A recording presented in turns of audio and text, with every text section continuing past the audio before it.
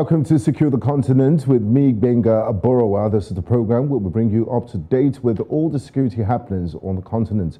Before we delve into today's topic, let me bring you the latest security headlines in Africa. France stationing more forces in Niger and Chad in fight against terrorist groups. The owner of South African tavern where 21 teenagers died has been arrested. And Ivory Coast has asked Mali to release 49 soldiers arrested in the Malian capital, Bamako. And more than 100 illegal immigrants are held at the Moroccan border. Don't go anywhere. I'll be right back after this break.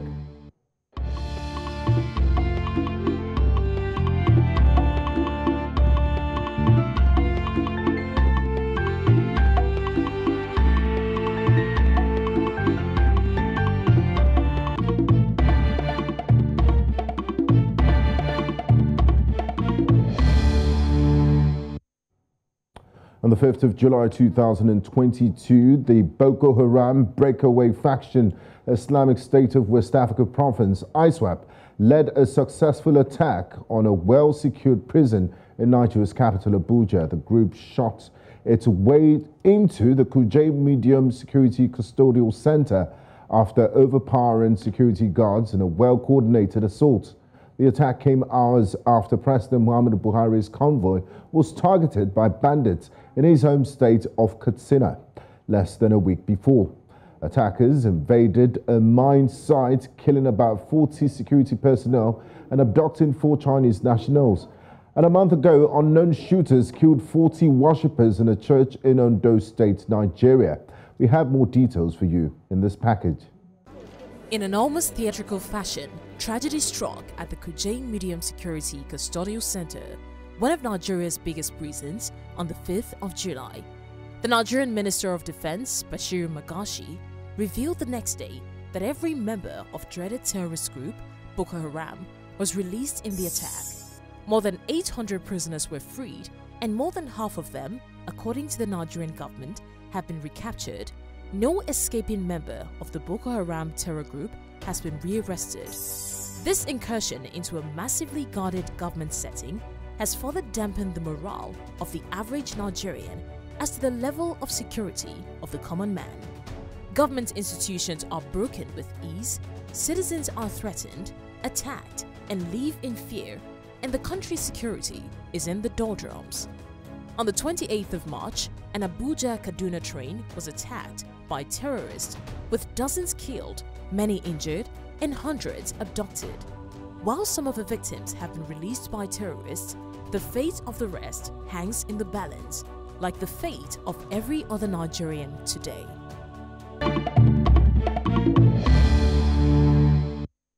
Joining me to discuss this and more, we have Patrick Agbambu, President and CEO of Security Watch Africa Initiatives, who joins in live from Enugu the eastern part of Nigeria. We also have Ovigwe Eguegu, a policy analyst at Development Reimagined, joins in from Nigeria's capital city, Abuja, and Femi Aratokun Ale, a security consultant, he joins in from London in England. Gentlemen, welcome to Secure the Continent.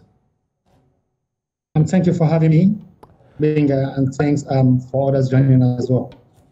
I would like to start uh, with Ovigwe. Now, Vigwe, the government said 879 detainees escaped, including all 68 imprisoned Boko Haram members. About half of the escapees were recaptured, and uh, one confirmed to be from the violent extremist group. Uh, now, the attack has been claimed by ISIL, and yet local media are saying it's Boko Haram. Can you please discuss how these groups are playing out and what are the intricacies? Yeah, thanks for having me.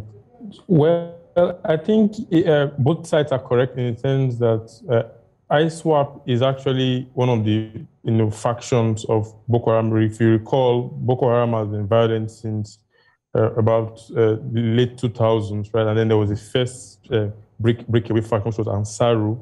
I think that was around 2012, and then much later there was another breakaway faction that we now call Islamic State West Africa province, um, ISWAP. So in, in, in, a sense, all we now have three one demon with three in three heads. So the, mm. the classic Boko Haram, and then Ansaru, and then uh, you know, uh, what, we, what we call ISWAP. So uh, every every side, whether you call it Boko Haram or ISWAP, you're actually correct.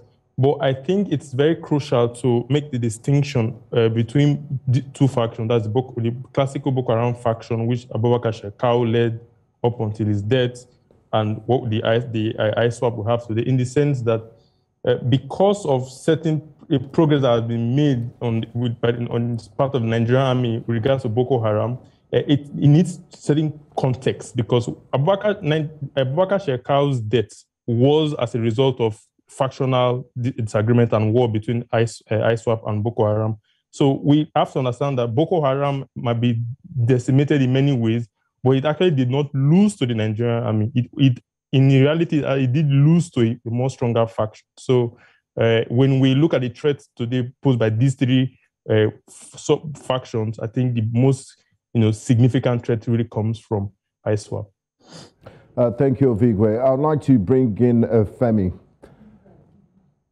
Now, Femi, Nigeria is synonymous with jailbreaks and have become more rampant in recent years, but this is the first time uh, that the Federal Capital Territory, Abuja, is being targeted. Kuje is said to be one of Nigeria's most secure prisons. How is ISWAP able to carry out uh, this latest attacks? And uh, is there any significance to the timing?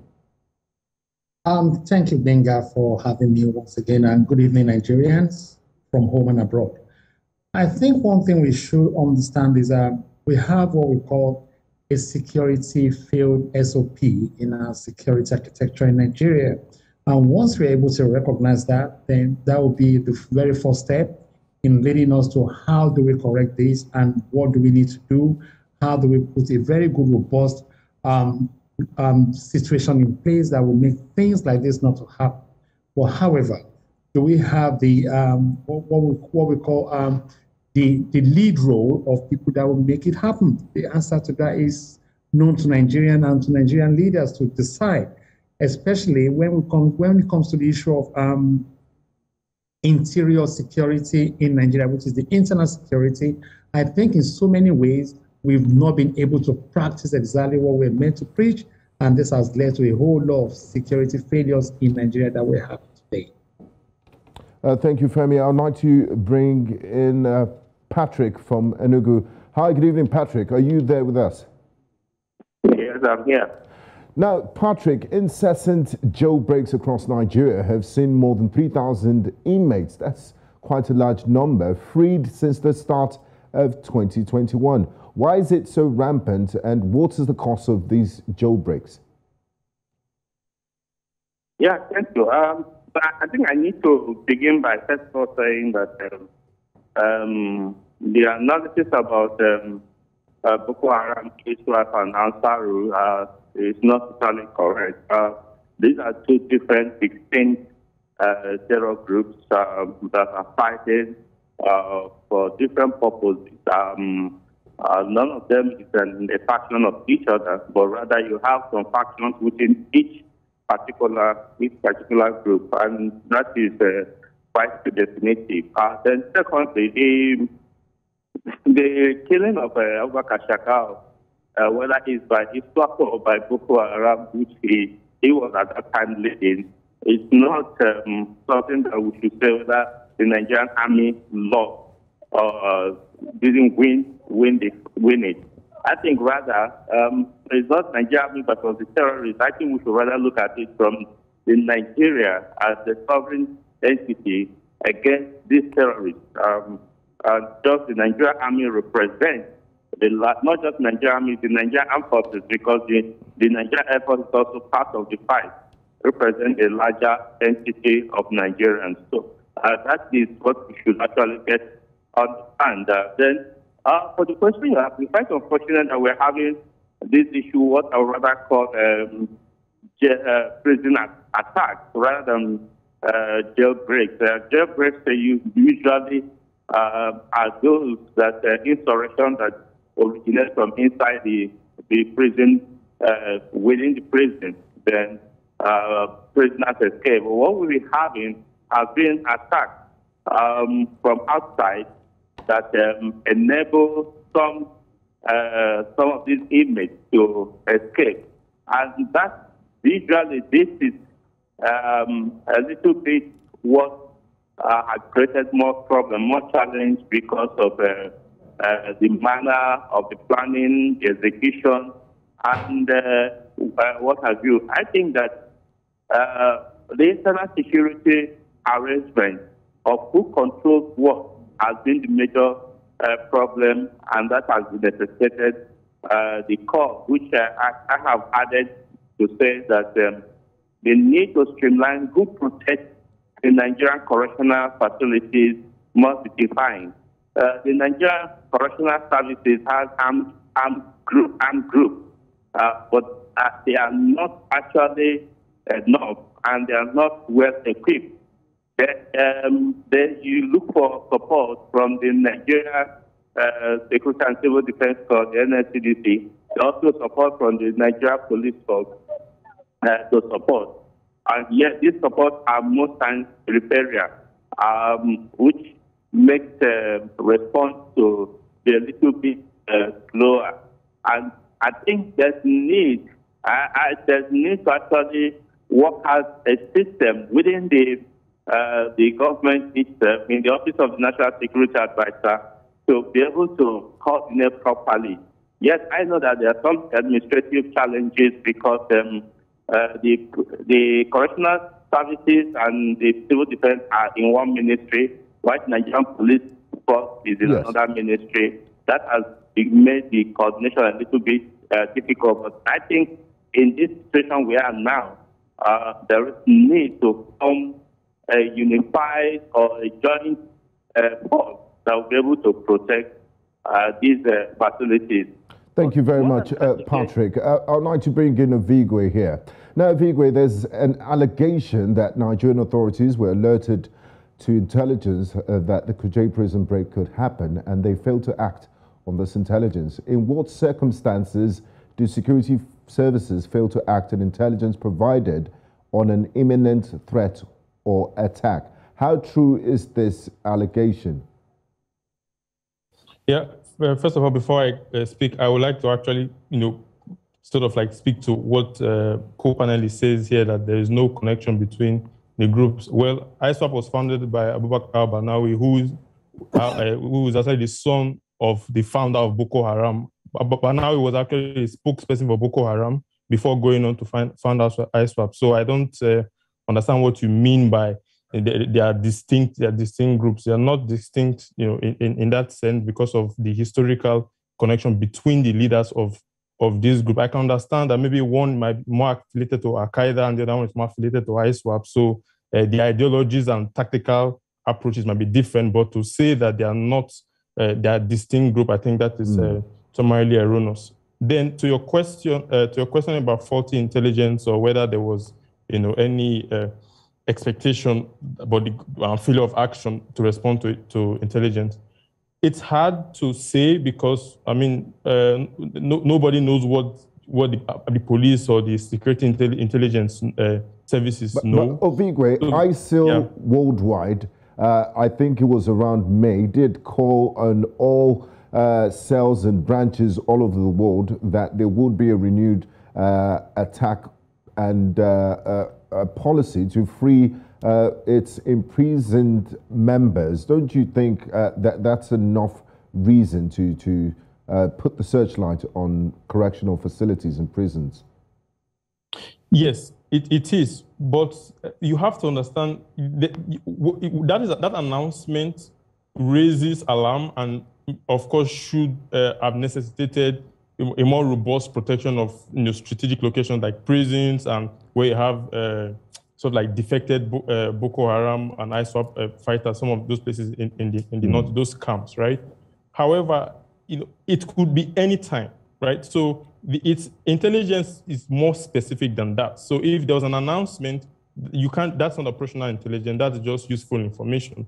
Is when you say attack will be, you, the, the, Nigerian state was aware that said attack would take place on this particular day, on oh. this particular time, with this. Yeah, so the specificity of the information right, uh, is, is what uh, anybody here can, can, can debate. You, you can't tell because we're not in the, in the military or in police or in intelligence to say, yes, they knew, yes, they did not know. But uh, what you said is very important because uh, if there was a, you know, a worldwide declaration, and of course that should have meant uh, extra measures should have been taken. But you also have to understand the frequency and, and the that this is routinely done you know, as a way to tire out, you know, uh, militaries all over the world. So they, they, could just say, we're going to attack on X, X, Y day, and nothing happens. And then oh, they yes. do that second time, they do that the third time. Before you know it, you, you, you, know, you tend to actually not take this thing seriously. It's not as if the police and the military are not taking the attack, this threat seriously, but you have to understand the constraints that we have in our system. Somebody has mentioned security sector uh, failure well, most of it is because of lack of personnel. Nigeria has one, for instance, 186 policemen to what 100 to 100,000 uh, population. That is way below global average, which is 400. So when you have this type, we are stretched everywhere, not east, not west, you know, south, uh, southeast, and then you are not central with all of these uh, theaters that they have opened up. You're not putting any more, more manpower into into the security services then you really cannot sustain like massive deployment based or, uh, based on this type yes. of uh, uh, announcement for a prolonged period of time because these people are extremely overworked, you know, in every direction. We need full security sector reform to actually boost capacity, you know, to be able to deal more effectively with those type of threats and pronouncements. Thank you, Ovigwe. Um, Femi, Nigeria's Interior Minister, uh, Mr. Rauf Aregbesola, said Kuje prison is the most fortified in the country. He also added that they had enough men to protect the facility, but unfortunately, they couldn't hold their position effectively. My question to you is this Have there been any resignations or dismissals since the jailbreak happened over a week ago uh, that led to over 400 inmates fleeing? And what do you make of the Interior Minister's comments? Um, let me start from, um, before I answer the question, let's start from here. As far back as 2020, to date, we have more than, let me say, about 800 um, free inmates or more than 800 or, you know, escapees from our prison um, areas. Mm. Now, if the minister is saying this, I think for the love of God, the minister too should take a very bold step and step down because he's not been functioning well in his own capacity. Why did I say that? Let us look at the body language of our welfare, I mean, of our prison um, or correctional facilities officers. How do they look? What sorts of weapons do they have? When was the last training given to them? We need a whole lot of audits before we can say, okay, let's have so many heads to roll. Mm. Because at the moment, what we do have is poor facilities for our security officers, not only the correctional facility officers, but all security officers nationwide. They are not being properly taken care of. So how do you want them to put passion, to be very passionate about the kind of job they do? Again, let us look at Kuje prison and all other prison centers that we have all these escapees. How many kind of changes have we seen in them? Let us look at Kuje prison and other prisons as well. Can you tell me that those prisons are well fortified? The answer to all these are zeros. If we have security officers in all these correctional facilities, how come we're still deploying civil defense, deploying police, deploying military into all this? That means we still don't understand exactly what we're doing. We have hardened criminals in all these places, and we allow just free flow of visitors to come in. Who check who? Who are they? How do we have records of those that? I mean, it's said that some of these inmates also have access to mobile communication devices, uh, which they use to communicate with the outside world. things that we yes. need to really understand. Who is actually authorizing them to use all these stuff?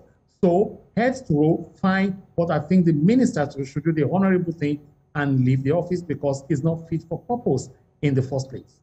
Thank you, Femi. I'd like to bring in uh, Patrick. Now, Patrick, have there been any rearrest of the high profile terrorists that escaped? And uh, what threats do they pose to security of the country? Okay, I think we lost Patrick. Uh, we'll uh, bring him back. Ovigwe, would you like to answer uh, that question? Well, I think that is going to be you know, very difficult in the sense that uh, if you look at this sophistication of the attack uh, and how the success of the attack, you know, it means they didn't just plan to break out. There was a very elaborate plan to ensure that once they are out of the walls of Kuje prison, they are gone for good. Because the, the, for them to have the capacity to actually carry out such an attack, I mean, the planning must have been very comprehensive. So the, the likelihood of um, recovering the main. So yeah, you you recovered. But, but what's the topography plus. of the area? If you can uh, give us uh, a view, because it seems they just disappeared into thin air, almost unopposed. Well, that's because uh, Kuje is in the outskirts of Abuja in, in, a sense, like it's not in the in the main city center. So we're not talking about an urban area at all. So if you be uh, around uh, Kuje, the Kuje prison, of course, you have vast expanse of, of, of land the vegetation is more uh, savanna in, in, in a sense, so not like very thick, you know, uh, rainforest uh, uh in, in, in that sense. So you could see during uh, following hours, a lot of uh, choppers, police and military helicopters flying over, trying to see to see if they could support with you know, mm. area surveillance. But I, like I said, because of the sophistication of these groups, uh, the planning would have been very elaborate. these are not new, these are very sophisticated criminals, like particularly the, the, the, the, terrorists that we have in prison. These, many of them are very well trained, and they, they actually were convicted because of the, the kind of rank that they, they, they mm-hmm. held in, uh, in, in, in, the outfits. So uh, they know how to evade because they have been on the battlefield for a very long time. So, and I think given the current situation with our weaponry and and facility and uh, and uh, capacities, it might be very difficult uh, to recover them. That is not to say that the government is not taking measures. I know there's nowhere in the world where you would have this type of situation happen and government is not taking action. Yes. The government is taking action. There's no doubt about that. But whether the action, whether the action is complemented with enough capacity for the action to be very effective and successful that is debatable. Now, Femi, a visibly angry President Buhari, while visiting the uh, prison, questioned the intelligence in place, the attackers' easy access to the facility, and the ability to leave without a trace. The president, commander in chief of the Nigerian Armed Forces, and a former army general also tweeted, and I quote, How can terrorists organize, have weapons, attack a security installation and get away with it. My question to you, Fem, is this Is Nigeria under President Buhari out of security options? And is it time we seek outside help? Is it getting out of hand? I don't think um, uh, with, uh, with the present situation we have ourselves in right now in Nigeria, we do not need any outside help. Rather, we have the full capacity, but we're not just channeling our energy to what we should do. Let me give you a typical example of what I'm saying. Hardened criminal in medium prison. How does that work? Let us let us have this calculation done very well. Mm. These are um, um, what you have the real Islamists, the real criminals killing people, and you have them all together in one medium prison, medium in sense, not even high profile prison or whatsoever we have how many prisons in Nigeria? Why not just strategically scatter them around? You didn't do that. Now, I'm going to show you some few things because what we are saying that claim responsibility for the attack happens to be um, the video being taken or being shot by one of the terrorists is from his phone. How many security officers within the facilities have got what we call the body worn camera in the first place? Mm. None of them seems to have anything like this on them. So how would they be able to record incidents happening? How many drones do we have that probably maybe um, at sporadic time every day can do survey around the facility? We don't have. So with all this happening, it shouldn't be a surprise to the head of state that we're having this situation because he's not even in the know of it. From my own understanding, if you are in the know of it, then this shouldn't be a surprise to you. However, as I've said, how for how often do we do these security audits to know what they need and what they do not need and what might probably be in place? technology is of good advantage, but the question is, are we taking advantage of it? The answer to that is no, because most of our security officers in our facilities, in prison facilities today, are probably just like, you know, let's just have a job to do. Mm-hmm. They are not well trained to understand what they should do. Or maybe they should bring in some other ideas into it to make it work.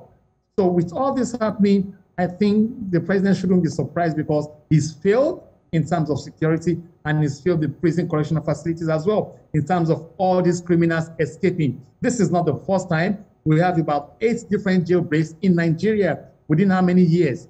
So it's, it's alarming and we're not working towards it. And the only way we can work towards it is by having database of people coming into the prison once they're arrested, once they are being sectioned that, okay, you're going to be serving jail time, they should have their database and transfer, or maybe, maybe share it amongst all security departments in the country. That is another way we can work out things. But without all this, we will just keep on talking about it and there will be no solution on ground. Okay, Femi and uh, Ovigwe, hold your thoughts there. We'll go on a quick break, and when we return, we'll be looking at uh, preferring solutions uh, to this incessant uh, prison breaks and terrorism in Nigeria. Do stay with us. This is Secure the Continent.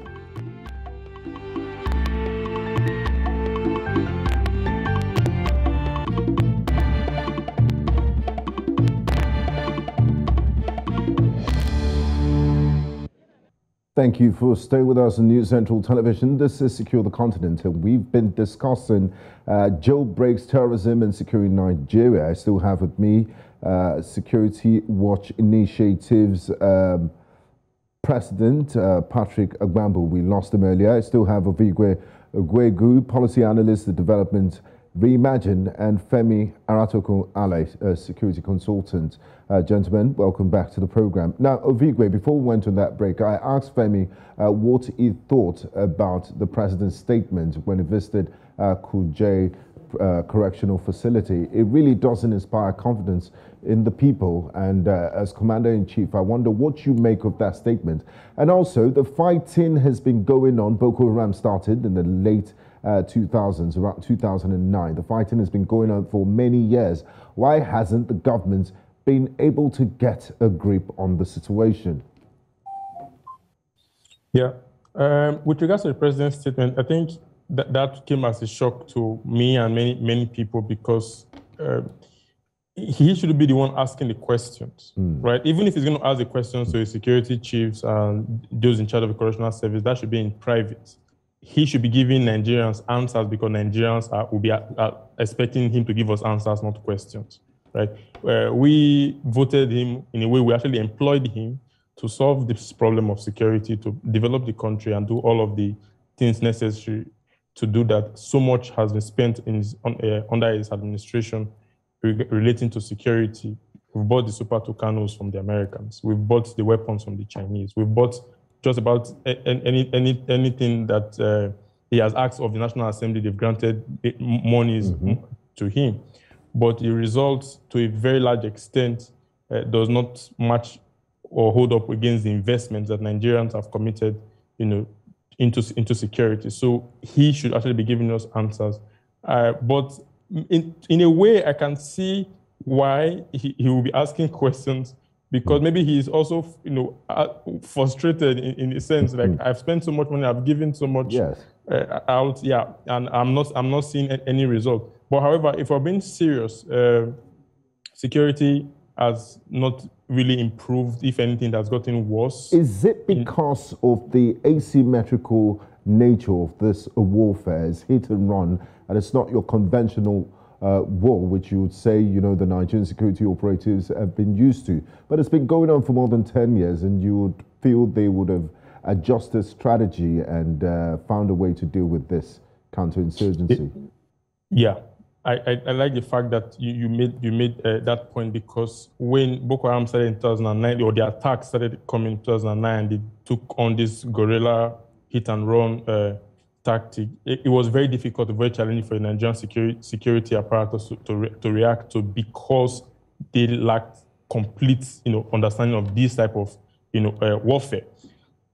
However, this is 2022. We are well into the second decade of this of this um, war against terrorism, you would ex- and given the amount of money spent, mm-hmm. you would expect that by now we've been able to build capacity to actually combat the, uh, this threat effectively.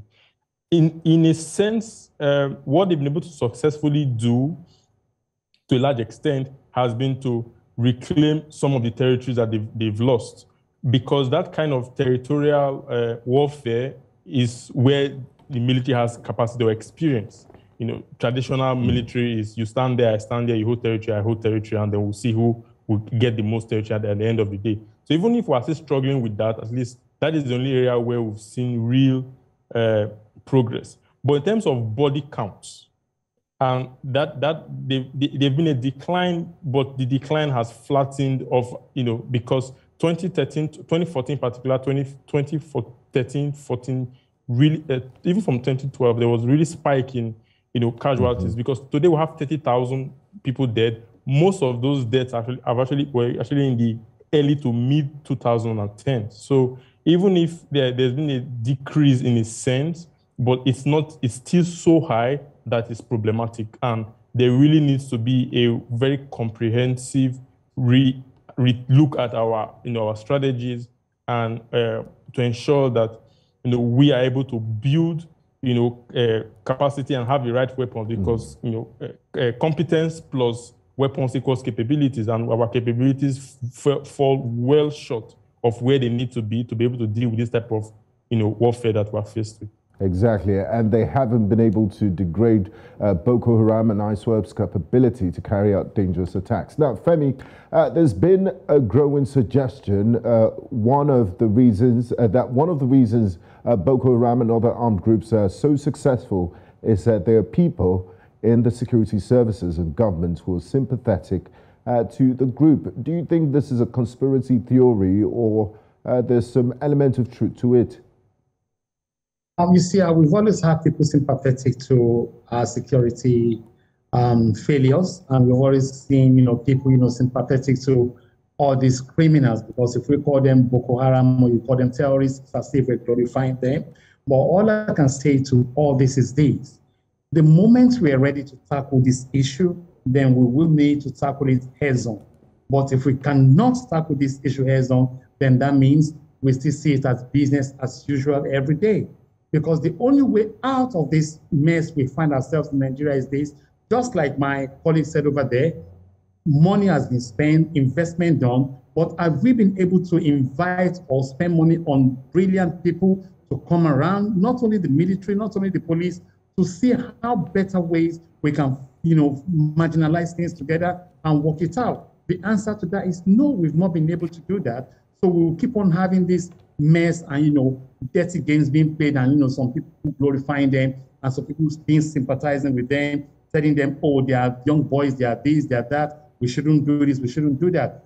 Tougher sentences should be seen and most possibly, you know, real sentences should be seen as in once you've done something wrong, let us have it back to you that way. It should be mm-hmm. back to back. But what we're having is we have leniency everywhere. We have ideas not even working in Nigeria and is working against the people instead of working against the terrorists or the criminals that we have in the country today.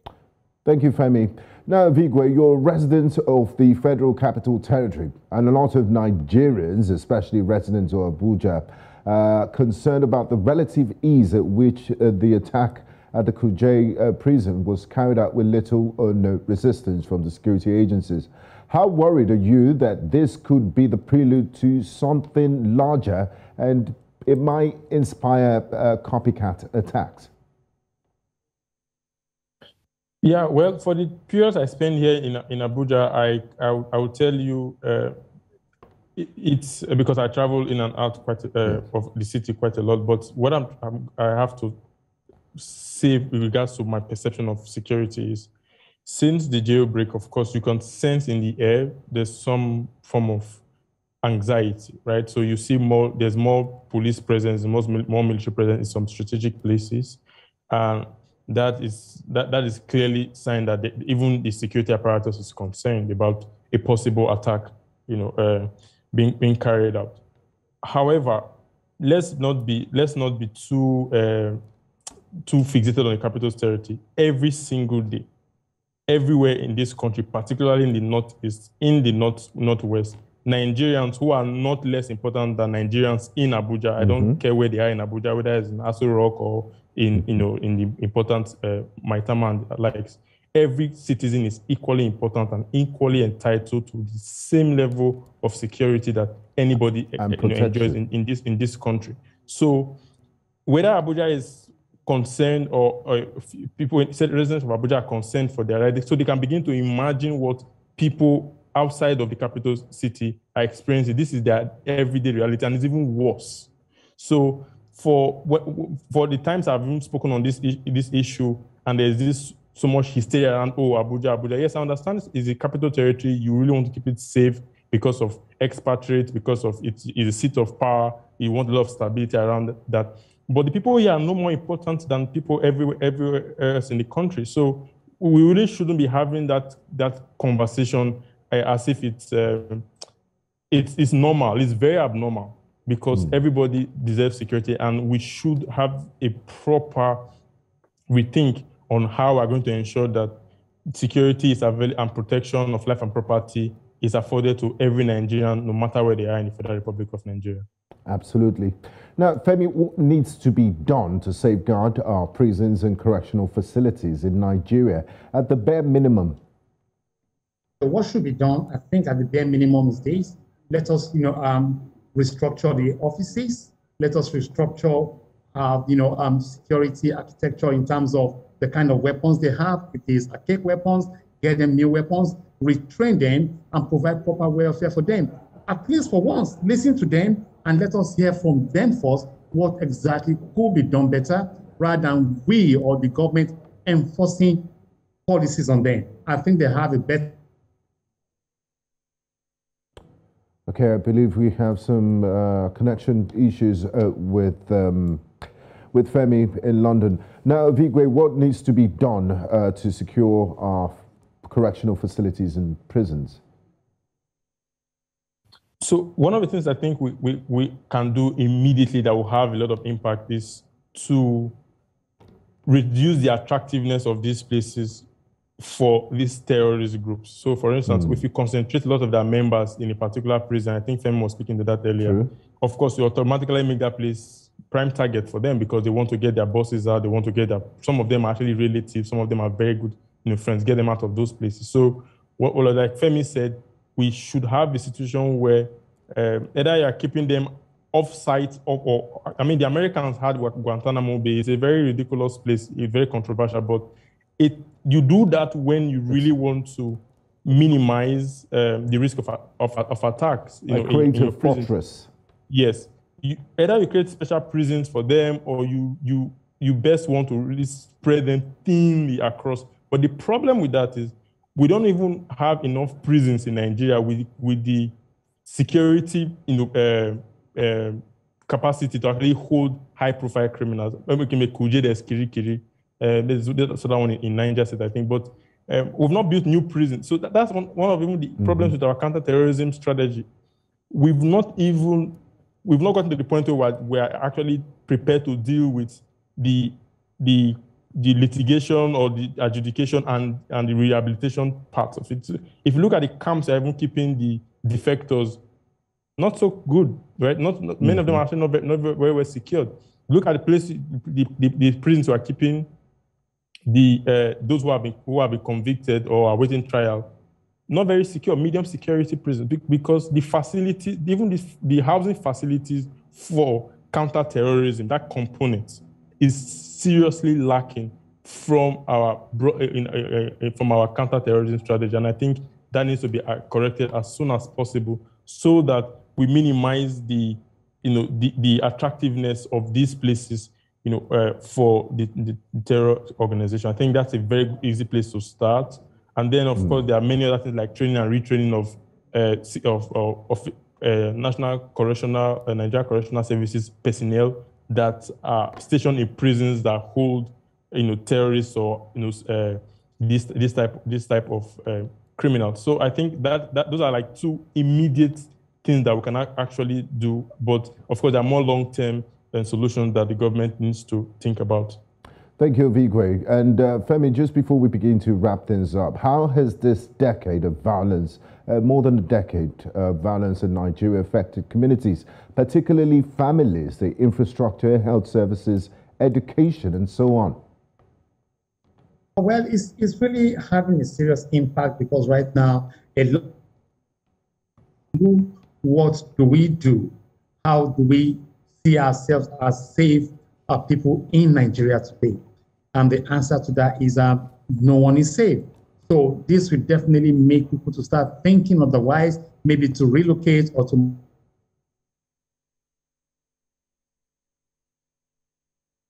rethink, asking themselves one question, what do we need to do to make sure Nigeria mm. is safe? I think the first thing they need to do is this, start looking into how to secure lives and property. Okay, thank you, Femi. And uh, Ovigwe, just before we wrap things up, there are 27 ministries, departments, and agencies involved in security in Nigeria. We also have a national counterterrorism strategy that has defined roles for all the aforementioned agencies. So, why is Nigeria still struggling to deal with insecurity? And what do Nigerian military and security planners need to do to start to turn the tide against these insurgents? I think they are, um, see, strategy, strategies, strategizing is very easy. Like you could just sit down, mm. write, mm-hmm. think things through ideation, and then put very fancy and sometimes really brilliant work on paper, right? But it's not the paper that is going to actually do it. You need to be operationalized, and people have to do, yeah, people have to do the implementation of the strategy. And I tell you, that is really where we have a lot of problems. It's not that we don't have brilliant people at home and abroad, or even currently in service that can solve this problem. I can, I, I can, I can look at Nigeria and never say talent and expertise is something that we lack. It's just not the case. It is the implementation, because in, with implementation, that's where you now have structural issues like corruption, coordination, right?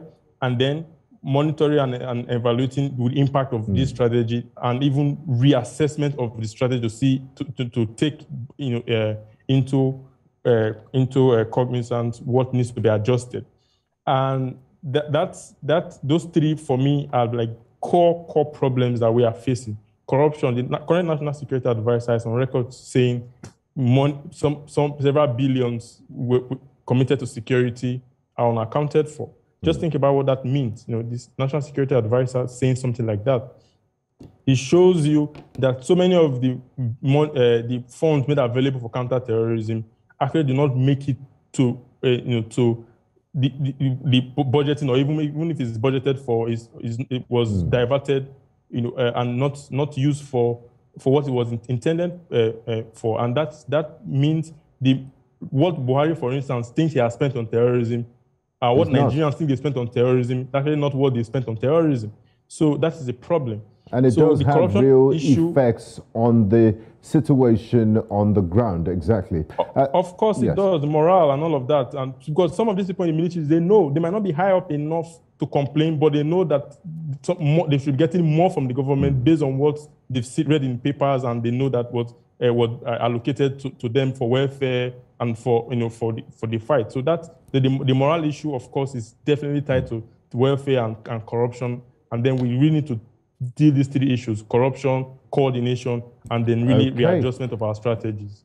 Thank you very much, uh, gentlemen, for your time and contribution to the program. Patrick Agbambu, Ovigwe Eguegu, and Femi Aratokun Ale. Thank you very much for joining us and Secure the Continent. Now, Nigerian government and the international community needs to cut off the sources of contact of Boko Haram, the popular support of Boko Haram in form of manpower, material fund, intelligence, arms and ammunition at the domestic and international levels must be cut off. In the same vein, the issue of unemployment needs to be addressed. Also, governments should ensure effective use of resources like power, military, land reforms, finance, external alliances and hierarchical structure of organizations to counter insurgents. Lastly, there must be strict enforcement of law against any act of terrorism and insurgency. Until next time, remember to stay with us on Secure the Continent. I am Gbenga Aborowa. Thanks for being a part of the programme.